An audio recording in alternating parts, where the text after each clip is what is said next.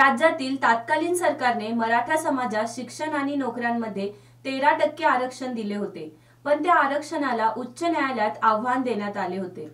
उच्च न्यायालयाने हे आरक्षण वैध ठरविल्यानंतर त्या मराठा आरक्षणाला सर्वोच्च न्यायालयात आव्हान देण्यात आले. सर्वोच्च न्यायालयाने या प्रकरणी निर्णय देताना या आरक्षणाला स्थगिती दिली आणि नंतरच्या कालखंडात मराठा संघटनांनी आक्रमक भूमिका घेत कुठलीही नोकर भरती होऊ देणार नाही तसेच शैक्षणिक प्रक्रिया होऊ देणार नसल्याची भूमिका घेतली होती. कराड येथे महाराष्ट्राचे पहिले मुख्यमंत्री स्वर्गीय यशवंतराव चव्हाण यांच्या पुण्यतिथी निमित्ताने अजित पवार यांनी प्रीती संगम या ठिकाणी त्यांच्या समाधी स्थळावर पुष्पहार अर्पण करून अभिवादन केले. यावेळी ते बोलत होते. उपमुख्यमंत्री अजित पवार पुढे म्हणाले की अकरावीच्या प्रवेशाबाबत लवकरच अध्यादेश काढला जाईल. सर्वोच्च न्यायालयाने नऊ सप्टेंबर रोजी मराठा आरक्षणाला स्थगिती दिली. त्यामुळे नऊ सप्टेंबर पूर्वी जे प्रवेश झाले आहेत ते एस ईबीसीच्या पद्धतीने होतील. मात्र त्यानंतरच्या प्रवेशाबाबत आम्ही विधी व न्याय विभागाशी ऍडव्होकेट जनरलशी तसेच ऍडव्होकेट थोरातांशी चर्चा केली आहे. त्यानंतर दोन ते तीन दिवसातच सरकारचा निर्णय अध्यादेशात काढण्यात येईल असंही त्यांनी सांगितलंय.